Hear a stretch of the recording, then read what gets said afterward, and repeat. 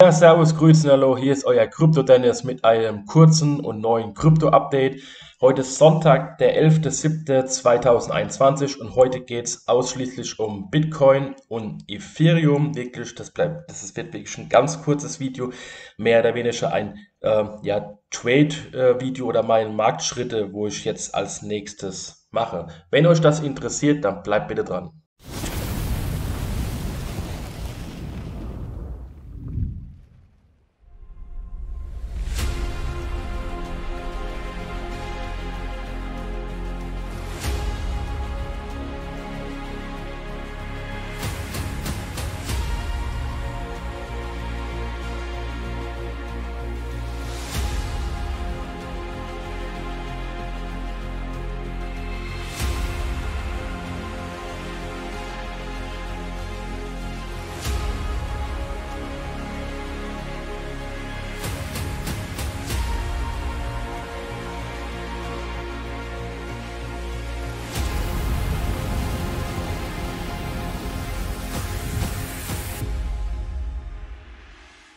So, hier sind wir bei Bitcoin und wenn ihr eine ausführliche Analyse wollt, dann schaut bitte äh, das letzte Video an, das poppt jetzt auf, denn hier geht es wirklich nur um die nächsten möglichen Marktschritte.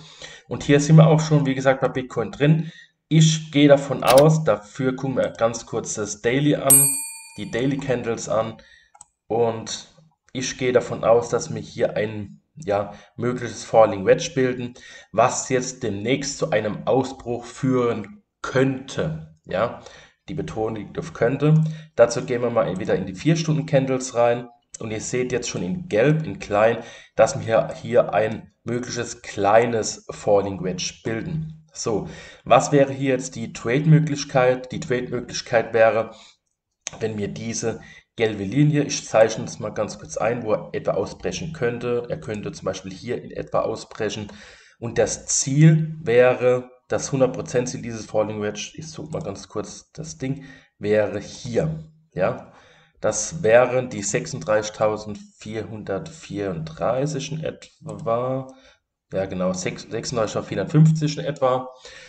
Ähm, das wäre das 100% Ziel dieses kleinen Falling Wedges. Aber ihr seht, wir würden dann gleichzeitig dieses große Falling Wedge nach oben dann durchsprechen, ähm, wo dann womöglich nochmal zum Punkt D des Bearish Butterfly kommen könnte. Wie gesagt, schaut euch das letzte Video an.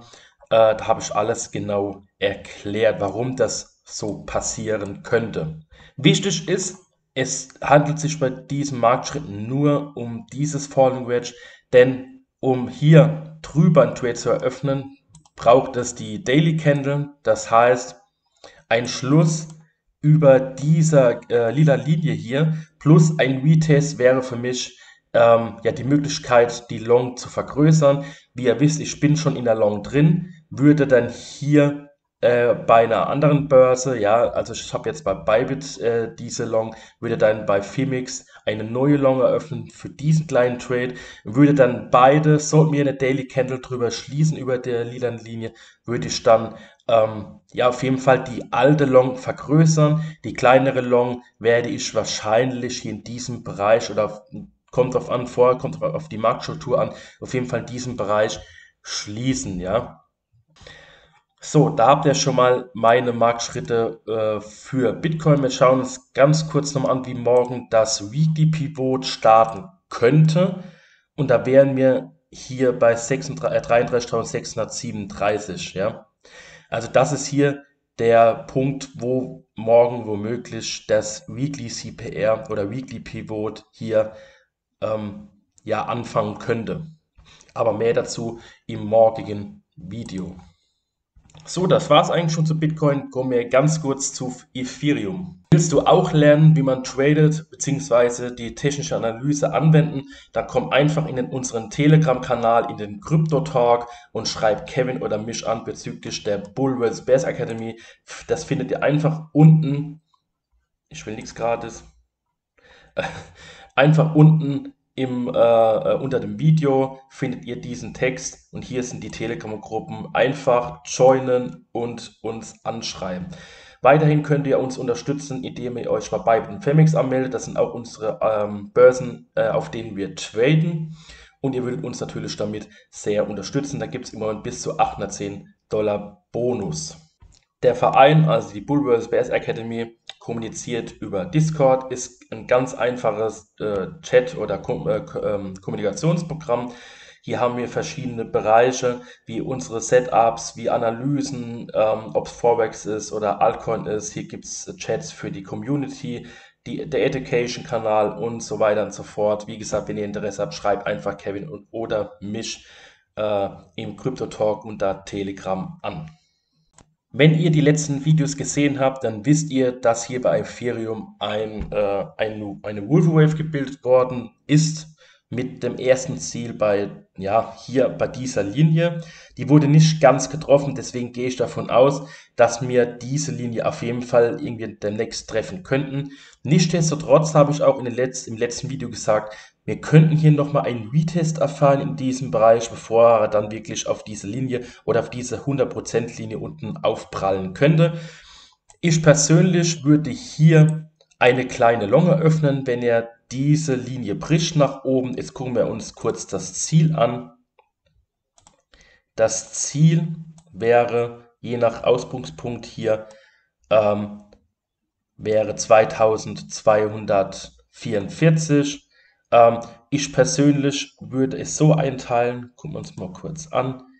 Das wäre Ziel 1 und das wäre Target oder Ziel 2 und da oben ein Retest auf dieser Linie wäre Ziel 3.